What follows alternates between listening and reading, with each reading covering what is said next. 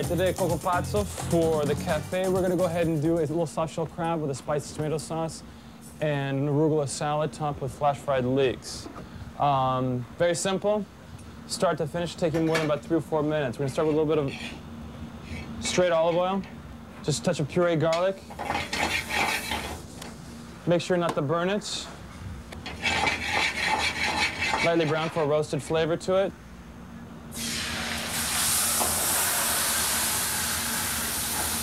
Just a little bit of canned pureed tomatoes. They've been cooked down for about ooh, 20 minutes before we actually get going to it. Add in just a touch of fresh parsley and salt to flavor. The salt we use here at the restaurant is actually kosher salt, is not the regular superfine salt. Total time to reduce this will take us about, oh, probably about a minute or so. These are beautiful Chesapeake soft shell crabs that have been cleaned, the tail's been removed, the inside lung, so you make sure when you are frying it, there's no air inside the pockets of these things and actually explode on you when you're at home. So make sure they are cleaned very well. Add just a touch of salt to the outside.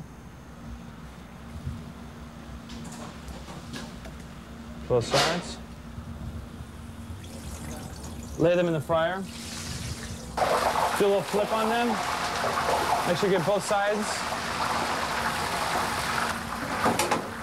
Trick to doing these hot fire, and make sure you don't overcook them. If you overcook them, all the meat inside actually will almost evaporate. It'll overcook, and there won't be anything left of the crab. Make sure you don't undercook them, otherwise it's the most disgusting thing you've ever had in your entire life. Put them on a clean towel. You can use paper towels at home if you like. Sauce is ready.